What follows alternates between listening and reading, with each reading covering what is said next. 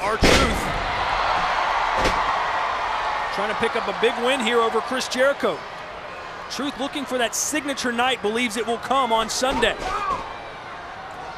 Who knows? You have to have momentum going into the Royal Rumble, going into WrestleMania. Perfect time for R-Truth to Ooh. build some right now. There's always some surprises in store at the Royal Rumble match, always a dark horse. Could R-Truth be that big surprise?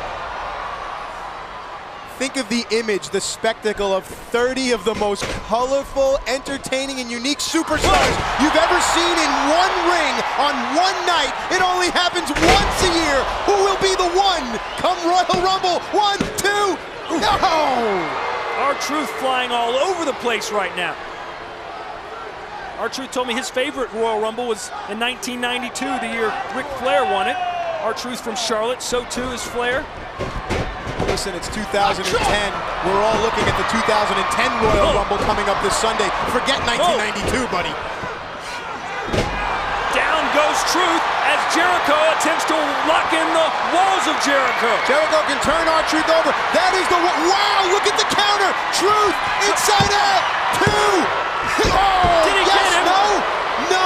A Oh. two count, and Get- that's as close as it gets. R-Truth with a fantastic counter. Get the hook out of your lip, boy, oh boy. Oh, for the code breaker, but Truth knew it was coming. Perfectly defended. He got him. Truth. Talk about momentum going into the Royal Rumble. R-Truth. Congratulations, R-Truth. Does R-Truth have yet another surprise in store for us Sunday night in Atlanta?